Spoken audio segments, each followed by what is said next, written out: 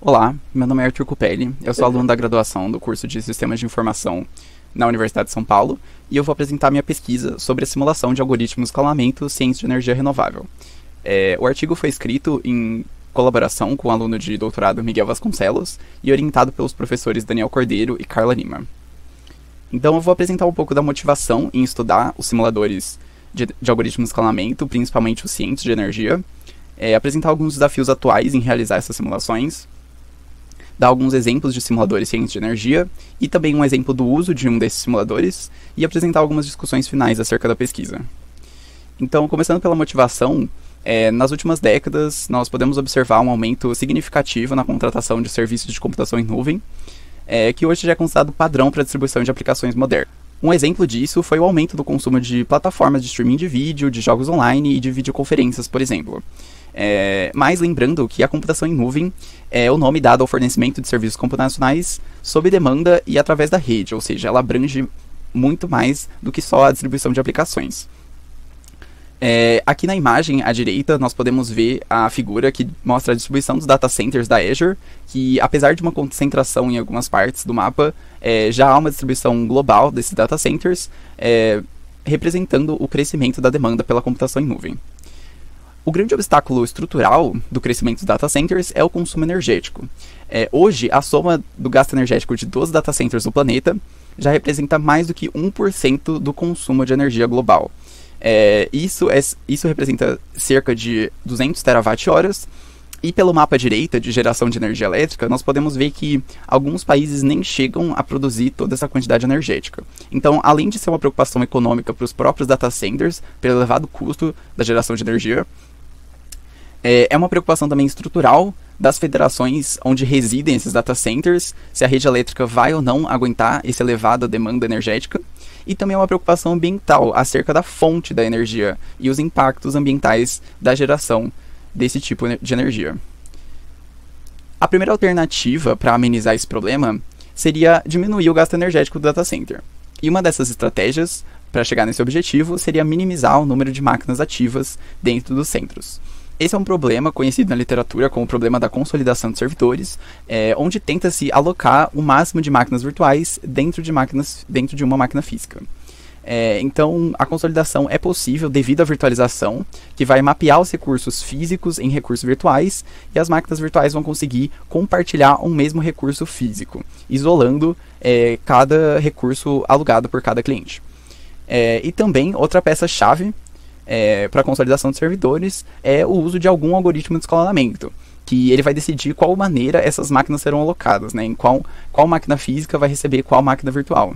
É, e um fato interessante de se comentar é que as máquinas virtuais elas podem ser redistribuídas em tempo de execução e elas podem migrar para data centers em outros locais do globo. Elas não precisam migrar entre máquinas de um mesmo data center, elas podem migrar para outros data centers geograficamente distantes. Outra alternativa para amenizar o elevado gasto energético dos data centers seria a adoção de fontes renováveis de energia, né, ou energia verde. É, então, a ideia é que não só esses data centers diminuam o consumo energético, como tenham uma boa fonte de energia. Então, a ideia é, seria montar uma rede de data centers em que as máquinas virtuais poderiam ser realocadas para um data center com maior disponibilidade de energia verde naquele instante. Então, esses dados acerca da geração de energia verde seriam atribuídos na entrada do algoritmo de escalamento e esses dados ajudariam na decisão de prioridade para qual data center as máquinas virtuais deveriam é, ser processadas.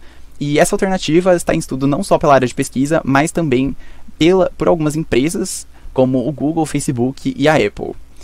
Então, novos, novos algoritmos de escalamento eles já prevêem o uso desses dados é, relativos à geração de energia verde é, porém, o, o, grande problema, que é o foco dessa pesquisa, é, está que os altos custos é, necessários para testar um algoritmo de escalamento em um ambiente real, né, ou em um data center real, com máquinas físicas reais. É, então, a alternativa que surge disso é, seria o uso de simuladores, que eles são usados como alternativa para implementação, para avaliação dessas implementações, é, e a grande vantagem é a obtenção de dados aproximados de uma execução real, sem os custos em tempo e energia e em recursos computacionais é, de uma execução real. Então, esse presente trabalho apresenta os principais desafios na simulação dada a importância do uso de simuladores, é, e ferramentas é, já existentes na simulação de algoritmos de escalonamento ciência de energia. Apresentando agora então alguns desafios em realizar essas simulações. Então, simular o consumo de energia é uma tarefa complexa. Então, normalmente, é, os simuladores utilizam o um modelo linear de energia, que é baseado no uso de CPU. Então, quanto maior o uso de, da CPU, maior o consumo energético de forma linear. Então, esse modelo é simples e com ótima precisão, é, porém é complexo calibrar os modelos para cada configuração de hardware. É, existem já algumas pesquisas na área de machine learning que visam automatizar esse processo. É, outro desafio seria a virtualização, que, como eu comentei, apesar das, dessa técnica ser essencial para a aplicação da consolidação de servidores, e, portanto, para o compartilhamento de um mesmo recurso físico, ela torna difícil monitorar o real consumo energético, é, por causa da real utilização de cada recurso físico por cada máquina virtual.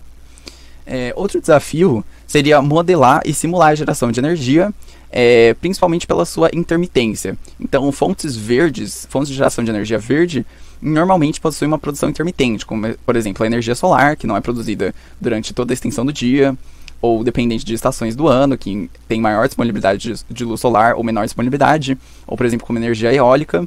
É, que depende da velocidade dos ventos. Então, é, simular essa geração energética é, também é muito complexa.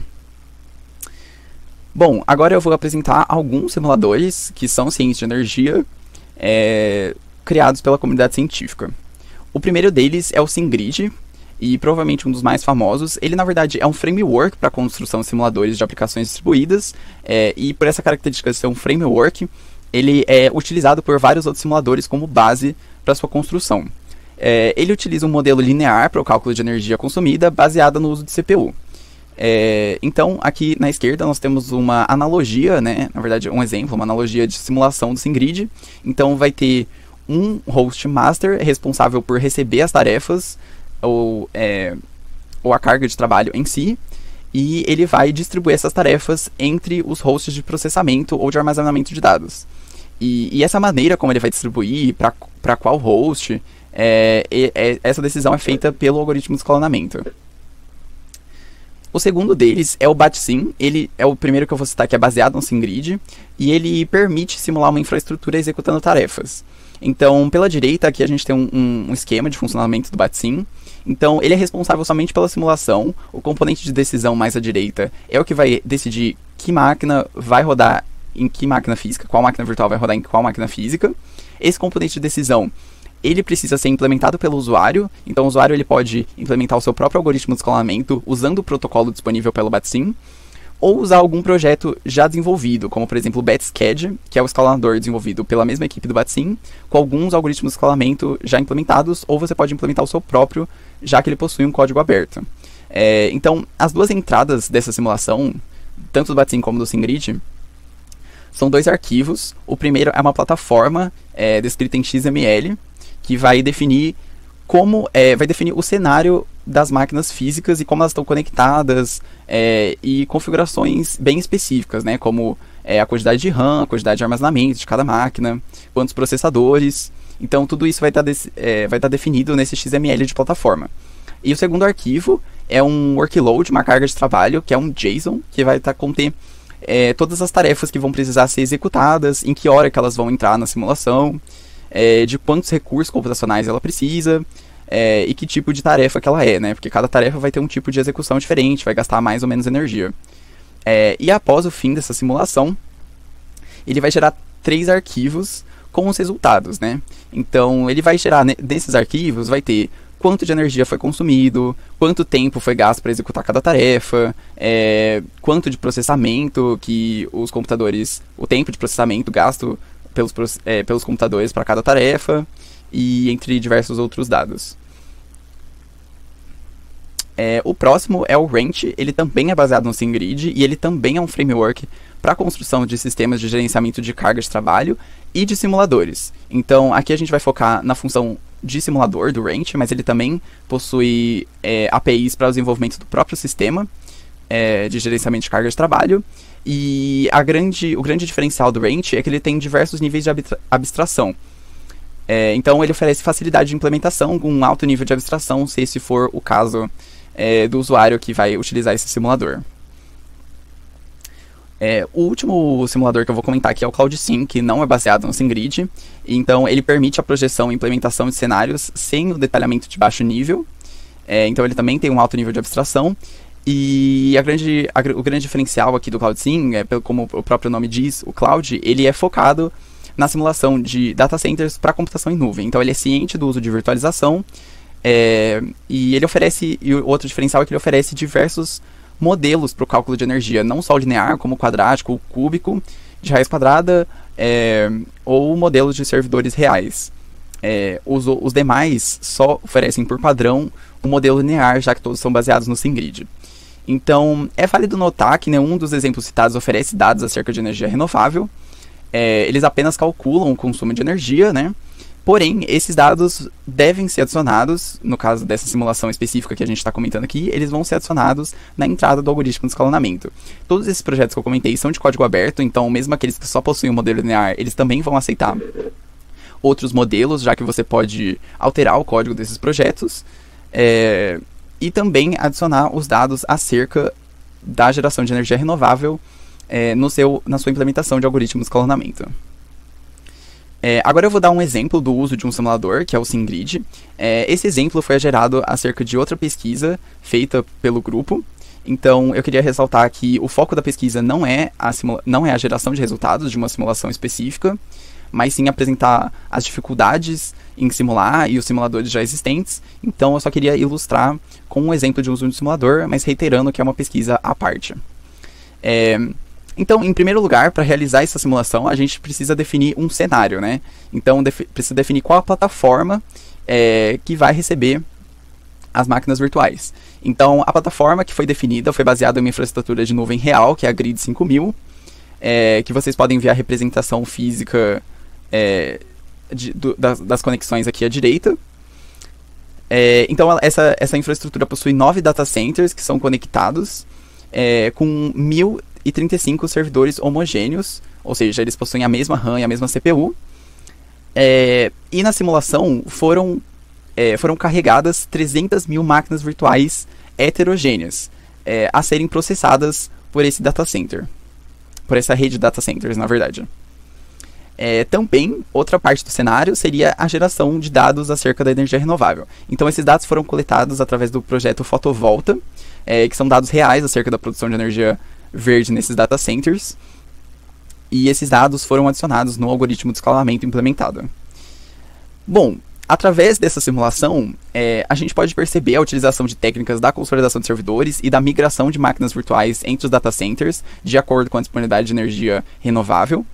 É, e nós podemos perceber dois resultados interessantes. O primeiro seria que o consumo de energia renovável, não renovável na verdade, foi 1,46 vezes menor do que outro estudo do estado da arte. É, e também, outro resultado que eu, que eu acredito ser mais relevante para essa pesquisa seria que uma semana de execução na plataforma real é, foi traduzida em 10 horas de execução na simulação. E lembrando que uma semana de execução seriam em 1035 máquinas. Em 10 horas foi usando uma única máquina com um único core de CPU.